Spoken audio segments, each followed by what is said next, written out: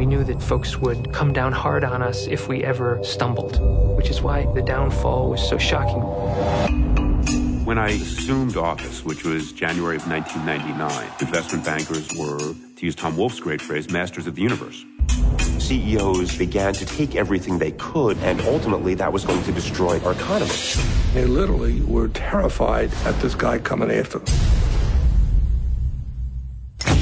New York Times identifies Governor Spitzer's mystery call girl as Ashley Dupré. I have acted in a way that violates my or any sense of right and wrong. Cheers erupted on trading floors as word spread of Governor Spitzer's stunning downfall. He announced publicly he's going to take me out as leader. This man really intended to destroy me. New York, New York. New York, New York. New York Confidential. Rocket fuel for winners. That's all it says. When you're sending a girl for $30,000 overnight, it doesn't feel like prostitution.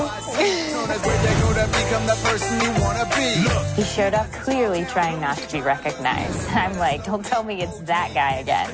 Joe Bruno hired the country's most notorious dirty trickster, Roger Stone. Sure, I believe in the gonzo brand of uh, politics. Porter was told to look at client nine. He was enemy number one. The governor felt like he was under surveillance. Both Greenberg and Langone hired PR firms to go after Spitzer. You tell your buddy, I'm going to put a spike through his heart. And this is a tyrant. The man's entire life is a lie. These are the guys that got us to the brink of disaster. And Eliot Spitzer was after them years before the collapse occurred. There were all sorts of rumors about bringing me down. I brought myself down. We're at war. This is a war.